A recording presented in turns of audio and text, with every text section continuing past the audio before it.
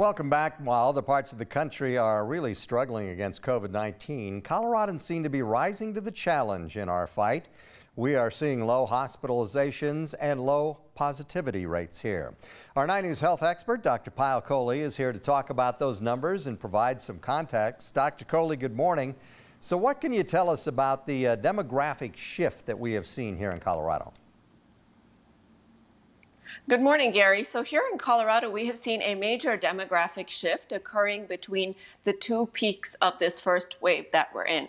So if you look at the first peak, it was comprised of very few kids. There was, uh, that's shown in orange there on the left-hand side. There was a little bit of pink there, which are the young adults, but you can see that the majority of that first peak is really made up of blue, which is the significantly older adults.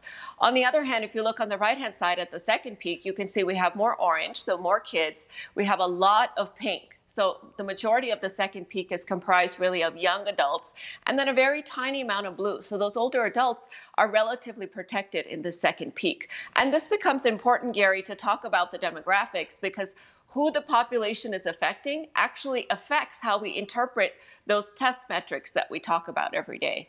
And it affects hospitalizations too, right?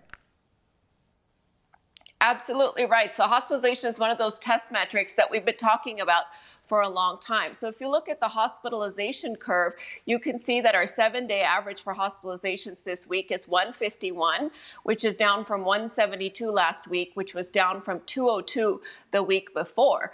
And all along, I've been saying that hospitalizations are a very sensitive metric of disease activity because whether you get a test or not, if you're sick enough, you're going to get into the hospital.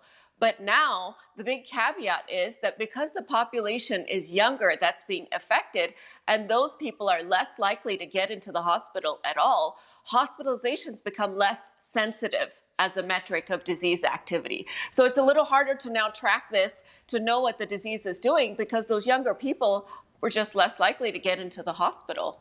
Yeah. Is it the same, uh, is it the same logic for the positivity rate, which is also down?